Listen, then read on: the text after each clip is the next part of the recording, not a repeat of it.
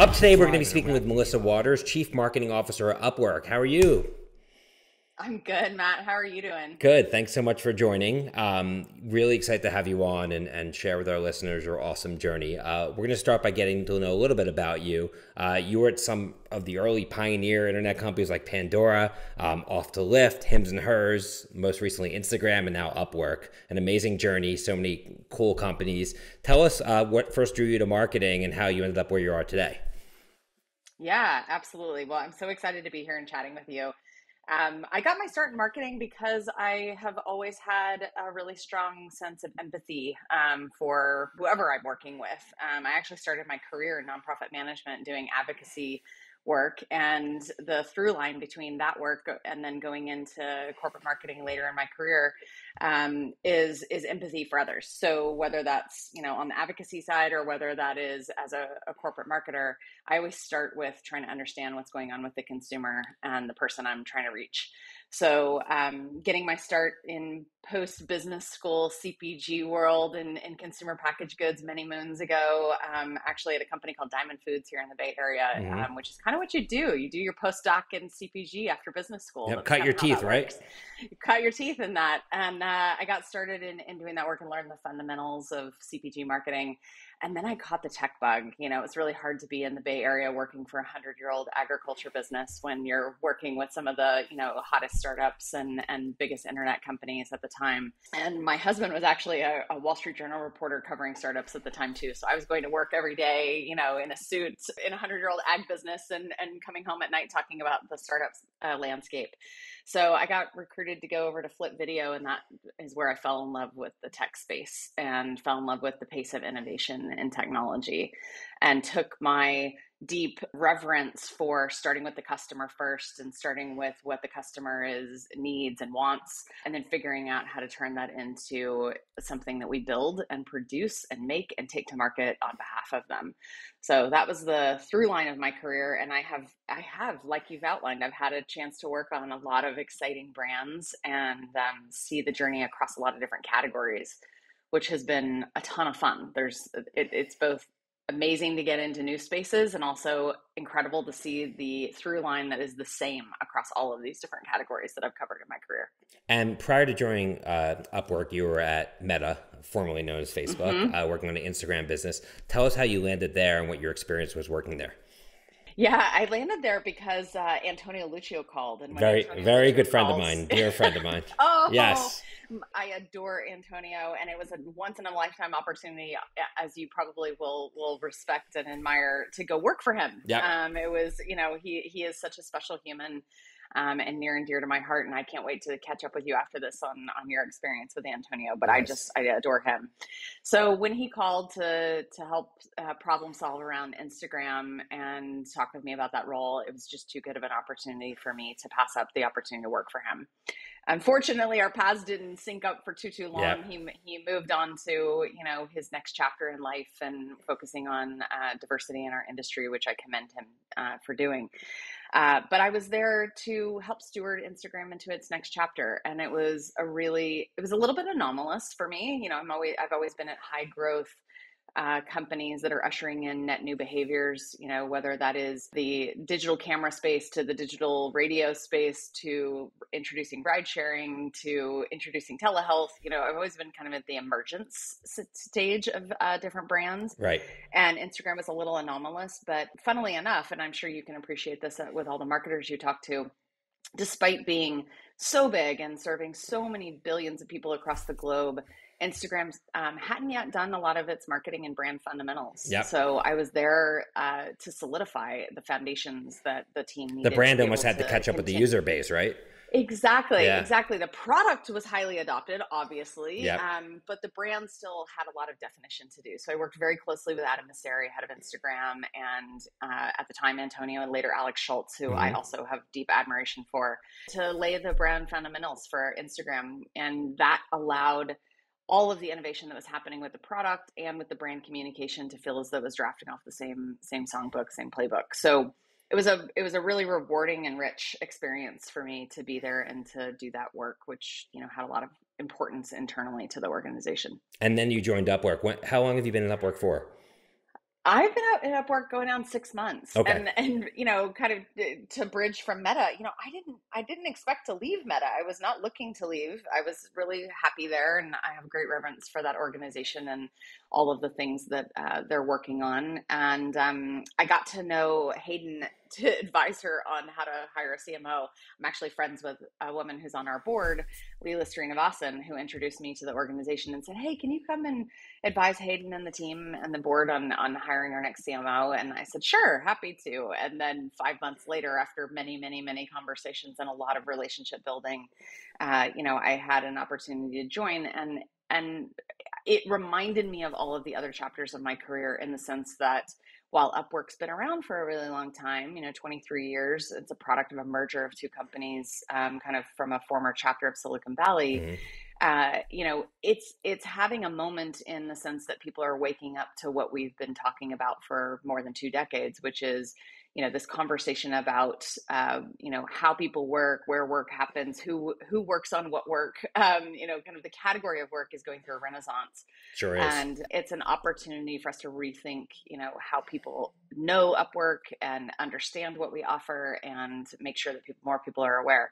So i got to know the team. I was very compelled by hayden and the board and the vision for the organization in every other decision I've made in my career, which I continue to make, uh, you know, I only join if marketing has a very strong role to play in the next chapter of a company if marketing is simply just a you know optimization we're just going to optimize what we've been right. doing i'm not particularly interested. If there's transformation work that needs to happen that is my calling card. That's what i like to do best. So uh, i was i was very compelled by upwork's next chapter and compelled by the team and compelled by the marketing job to be done. Yeah and companies like upwork and fiverr obviously had a huge acceleration during covid because everyone's working for home everyone's doing side gigs. We actually found a couple um, hires where one of which was working on two jobs, two full time jobs at the same time, which to me, I'm not cool with as a CEO. But then a lot of other employees have side gigs, which frankly I am cool with because yeah. I, I what I always say is that your passion, your journey isn't necessarily theirs. And just because your business means everything to you, other people might want to do something else down the down the road. And if they want to moonlight and make extra money and do something, that's totally fine. Um, but it really accelerated this notion of the you know the gig economy, which was sort of brewing before COVID. You know, now that we're kind of coming out of COVID, knock on wood, hopefully, what's the future of a company like Upwork to sort of sustain that momentum? Yeah, it's a great question. The thing that I find so fascinating though is that this is less about, you know, just the trend of COVID yeah. and more about an underlying secular trend that's happening across generations and across mindsets. So we've studied the the audience that we serve and and you know both on the B2B, you know, kind of client side as well as the B2C consumer side. And the reality is that the future of the workforce is young graduating right now and has no precept that they're going to be you know pretense that they're going to be working in traditional jobs. Yep.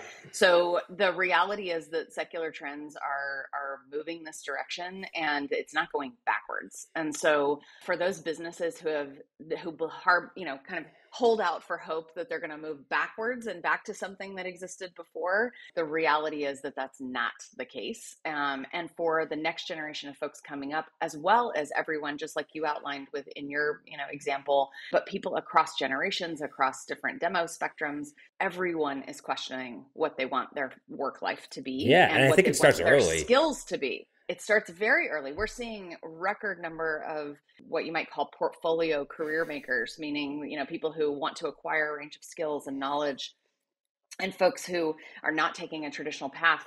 People graduating right now from college are having that experience. So you imagine the workforce is changing and it's really on corporate America and corp- the global corporate landscape to catch up with the fact that this is the way the world is going to work and this is how we work now. And if that is our reality then then we need to be good change agents and stewards. I kind of you know you might appreciate this analogy in the sense that you know we've been so close in marketing to the transformation that's happened with our channels over the years and the proliferation of digital.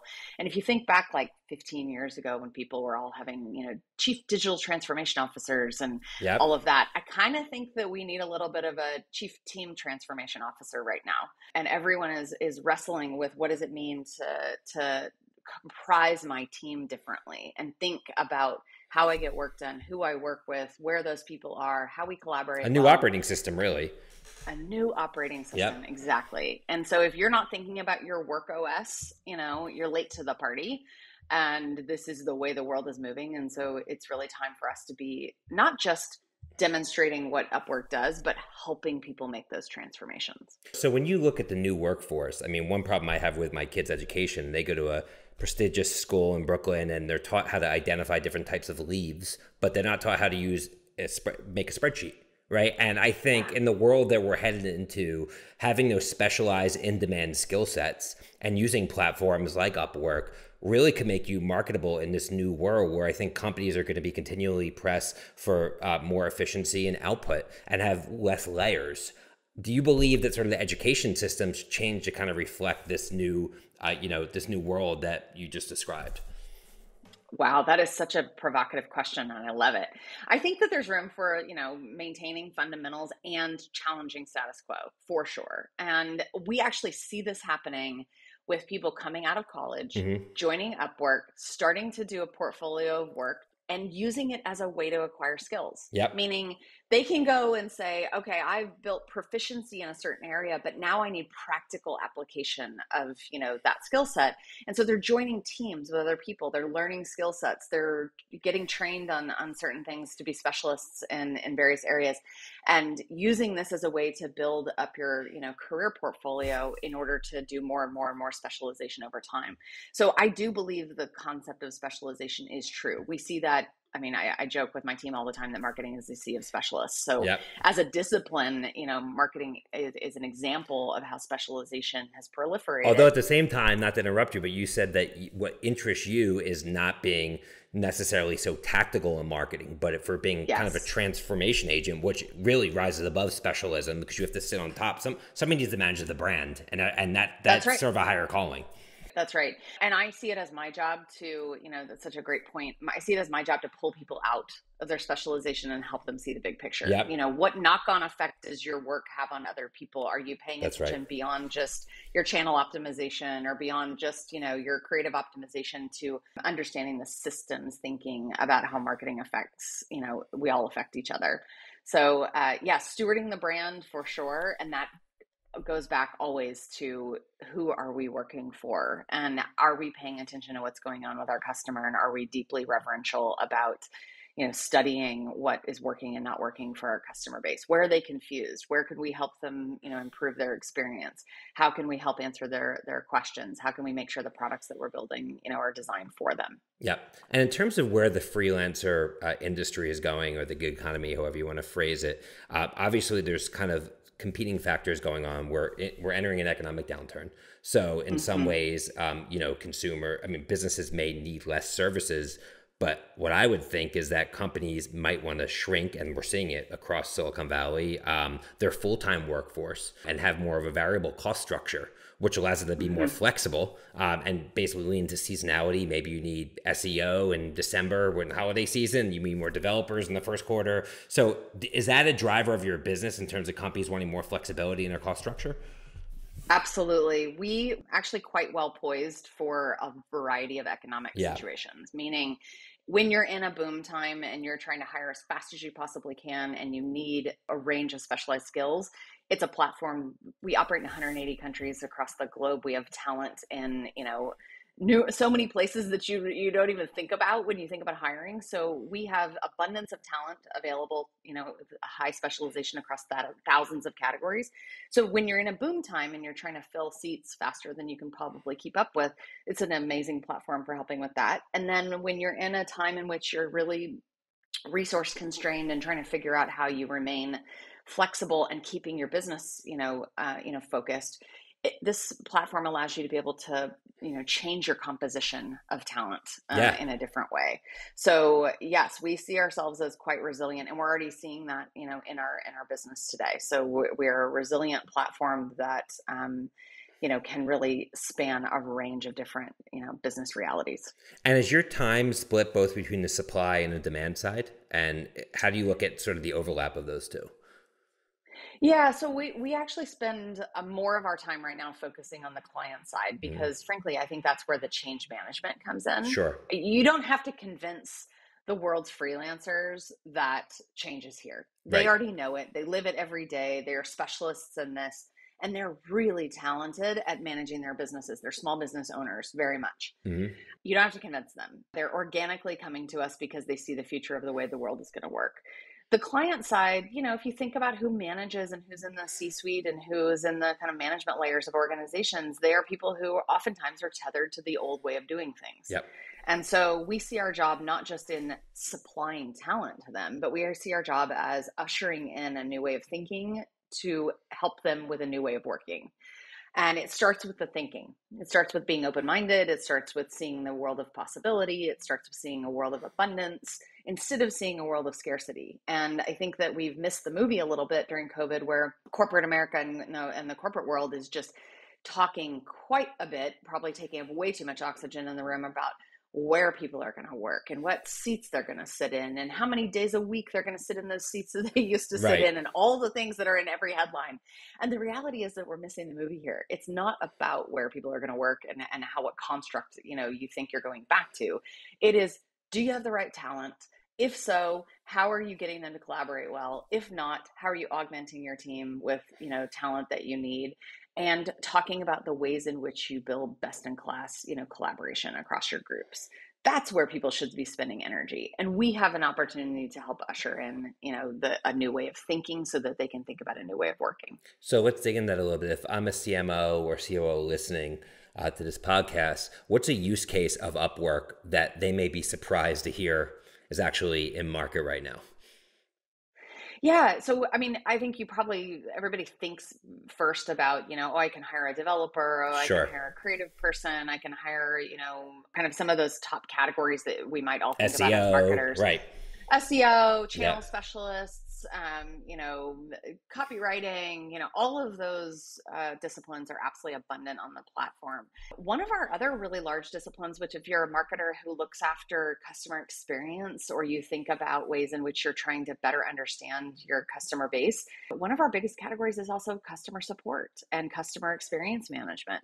So you don't think about that quite as much, I don't think, as, as somebody who might come to the platform thinking about transactional relationships. But the reality is that a huge portion of our business is repeat relationships or payroll based relationships in which we are supplying a large swath of talent for companies to be able to help with back end you know operations that mm-hmm. they need help with so we do yes of course things that are more on that kind of i just need a, a someone to come help me with a project more t- uh, transactionally based but a lot of that builds into retentive behavior in which people hire people for more and more and more work all the way through to i need to hire a whole department and i'm going to need to payroll them differently and i'm going to need to manage them differently we supply the ability for you to be able to wow. scale up at a department wide resourcing versus just transactional, you know, individual resourcing. So we have quite a range of, of talent on the platform, thousands of categories. And, and I think people think of us kind of in, in one way and we're out to change that mindset. So if I'm an e-commerce platform running on Shopify and I have heavy demand for my product during the holiday season and I need to, you know, up the, you know, my output in customer experience, I can tap you to have a team that can talk to the customer, and make sure they're getting what they need, etc. That's right. And, that's right. Without taking exactly. on this full time headcount. Yeah, and I think ultimately exactly. that's going to be. It's not only the ability to be flexible for a company, but I think the world has changed and the consumer has changed so much in the last 24 months uh, and now obviously supply chain's a big issue and and and understanding pricing dynamics and there's so many new things that are entering just the overall list of tasks for a marketer or a business builder that I and I think it's going to continue to change over time. Who knows where we're going to be a year from now Absolutely. I mean, it, there has never been a time in which I think we felt less certain about yep. things. You know, yep. the world is just the shifts underneath our feet are happening. We feel like we're on, uh, you know, all standing on sand. And if that's the case, you've got to be able to build resiliency in your business, not just your culture. We talk a lot about cultural resiliency with our teams, cultural resilience with our teams. And I think that if we're not talking also about systems resiliency, so like resilience, so like if you're thinking across people process and systems which is a you know kind of classic way to think about how you manage your business. Do i have the right people? Do i have the right comp- composition of people? Do i have the right processes for how they work? Do i have the right systems on the back end to help them succeed? If you are thinking across all of that if you're building resilience across you know each one of those layers then you're probably planning properly. If you're thinking in a, I just need to get back to the way it used to be, uh, you know, and thinking that the sand underneath our our, our feet is gonna, you know, proverbially just, you know, become clay. I, I think we're fooling ourselves. Um, so we've got to build resilience inside of all the layers, not just in in the people part of of the business. So your example is accurate, which is and and it's something we talk a lot about here too. How do we move from being, you know, a, a platform that people know and they can come to and type in a search bar, I'm right. looking for a point this solution. exact thing, really a point, a point solution, solution. Right. exactly. Yep. Two, I'm bringing you a business problem. I'm bringing you a business question, and we're consultative in helping you solve for that. And that's where we're headed. Where we are, we actually run that, you know, inside of our our products we have a consultative, um, you know, salespeople who help people problem solve around what their business challenges are. So the more that we do that type of work, the more that we will be a core partner um, to folks who are just facing challenges and need help. And I would imagine that you know it's the brand could be a lagging indicator of that, meaning you could start doing that work, but to, to be known as that and to change that perception in the marketplace that involves customer stories and that involves content and so how, how are you telling that story to your constituents well that's what i'm here to do yep. matt i mean that's that's my job so uh, you know we're starting with with communicating the brand so that we have very low awareness and mm-hmm. so when we've been in a single digit awareness environment we need people to be obviously aware of upwork before we can even storytell around what sure. we offer and then for those who do know us and we have crossed the awareness chasm and maybe they've tried us for one thing, our job is obviously to be able to round out the portfolio of how they see us. So do they are they familiar with what we offer? Do they really understand our product portfolio? So we're doing a lot of product marketing, we're doing a lot of customer storytelling. So all of that is in the works, uh, and you'll see much more from us across that entire spectrum of awareness to familiarity and consideration to product marketing and customer storytelling. So cool. Well, I have no doubt, Melissa, you are the right person to leave uh, lead Upwork through this uh, transformational journey. So super cool, and thanks for sharing well, so you. much about it. We talk about the speed of culture um, at Suzy on this podcast, but in this fast-paced world, obviously everybody needs to slow down from time to time and take a deep breath. What does Melissa Waters do to slow down personally to catch a breath so you can kind of recharge?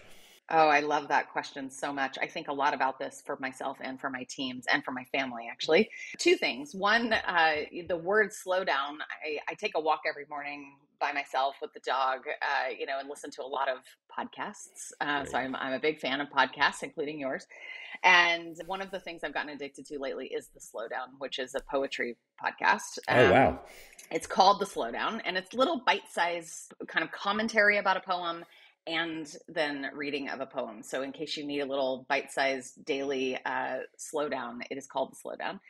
And then the other thing that I do to counterbalance the pace of life that we have is is get out in nature as much as possible. I grew up in a small town in Texas back when it was just forming called the Woodlands, which is a suburb of Houston, and it was really gr- i mean it was actually being built when i lived there so i grew up very much in the country and i find my uh, kind of happy places in the trees yeah. so i do a lot of walking in the woods and trying to get out in nature and so important my three kids yeah it's important to get the kids out kids. too have them put the tiktok Absolutely. down and uh, totally. you know breathing the fresh air, especially over That's the summer months. Exactly. So, very exactly. cool. Well, uh, yeah. on behalf of the Suzy Nadawi team, thanks again, Melissa, for joining us. And for those of you out there, be sure to subscribe, rate, and review the Speed of Culture podcast on your favorite podcast platform. On behalf of Melissa and myself, thanks again. We'll see you next time. Take care, everyone. Thanks, Matt. Perfect. That was great.